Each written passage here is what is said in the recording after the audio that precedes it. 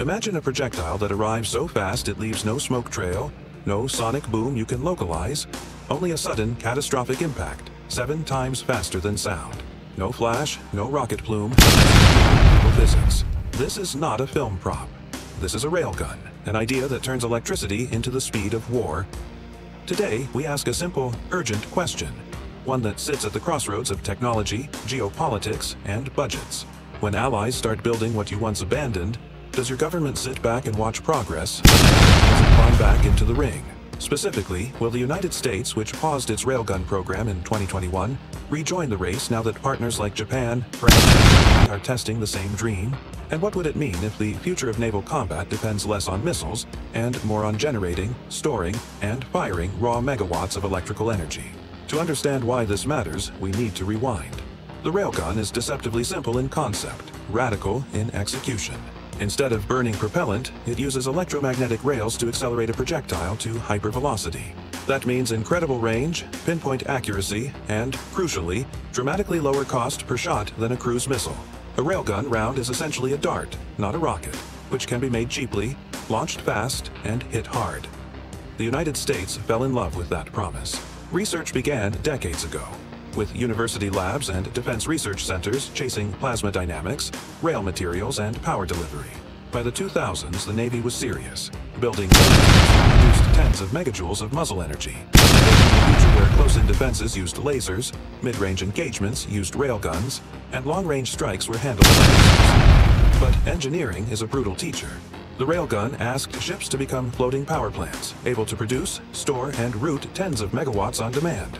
It chewed through rails and barrels, it demanded capacitor banks the size of shipping containers, and its true rate of fire fell short of grand ambitions. The Zumwalt class, designed with vast electrical capacity in mind, promised a path forward, but its costs ballooned, and the fleet was reduced from dozens to just a handful. By 2021, funding for naval railgun development was cut, and the weapon drifted from program of record to intriguing footnote. Yet the thread didn't while the US stepped back, other nations kept pulling, testing, and iterating. Enter Japan. Surrounded by potential threats, from North Korea's missile tests to an increasingly assertive China in the East and South China Seas, Tokyo has been intensifying its search for high-tech, high-throughput defensive systems. In labs and shipyards, Japanese engineers asked the same question American scientists once asked. What if we could accelerate a small, cheap projectile to hypersonic speeds and do it reliably? repeatedly, at sea. Their experiments took a pragmatic tack. Instead of chasing the ultimate 64 megajoule dream right away, they built up the technology stack slowly. Smaller calibers, smarter materials, improved rail metallurgy, and modular capacitor banks that could be tested on shore before being mounted on a test ship. The result, according to testing reports, was a railgun that delivered thousands of feet per second for many sustained shots, while showing lower erosion than earlier experiments. That last part matters.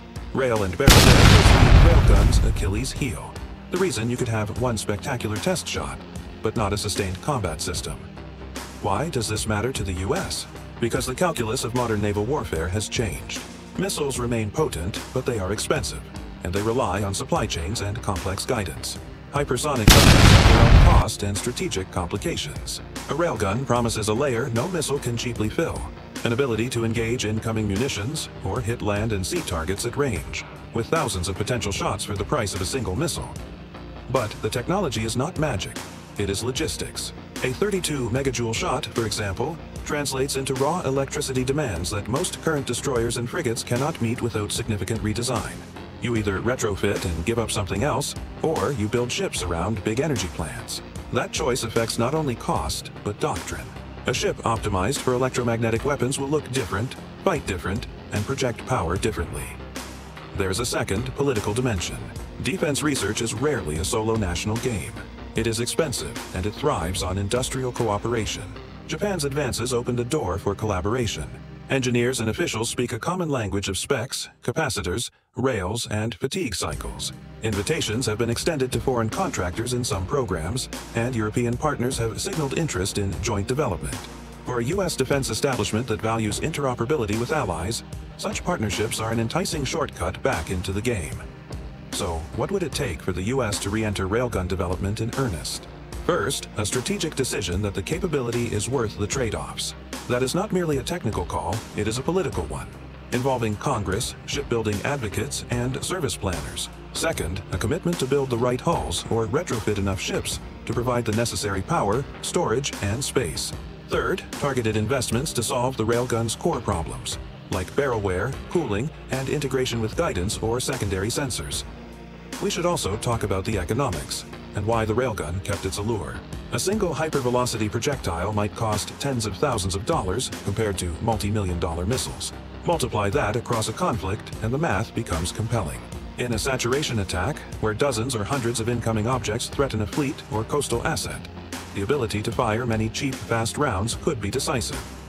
But there are no guarantees. The military's tilt toward hypersonics and directed energy was not ideological. It was pragmatic. Hypersonic glide vehicles promise ranges and flight profiles that a railgun cannot match today. Lasers offer near-instant engagement against swarms at close range. If the railgun cannot outperform or complement these systems in a clear way, it risks becoming another expensive experiment, which brings us back to alliances. If Japan, France, and Germany are pooling resources, and if industry partners are willing to share advances, the US can either join those efforts and benefit, or it can watch allies develop a capability that reshapes naval doctrine. Allies do not always align perfectly with US needs, but shared technological advances can be rapidly adapted. That incentive structure, the fear of being left behind and the lure of shared development costs, could be the impetus that pulls the US back into railgun work. There is also an operational angle view like to discuss openly. A railgun, at scale, changes how you think about escalation. If you can hit a target at long range with near-zero signature, you alter an adversary's calculus about retaliation, defense, and deterrence. That strategic effect can be stabilizing or destabilizing, depending on doctrine, transparency, and arms control norms. It is a debate that should be had in daylight, not only in classified briefings. So, what is the likely path forward? Realistically, a hybrid approach, the US is unlikely to abandon its investments in hypersonics and lasers. But a targeted, Allied-centered program that focuses on solving the railgun's remaining engineering problems while building modular power systems for future ships is entirely plausible. Congress may be persuaded by a coalition pitch where allies cost-share development and provide test beds, reducing the US's budget burden while preserving its industrial lead. In the short term, expect more experiments, more joint trials, and more lobbyist arguments about ship design and industrial jobs.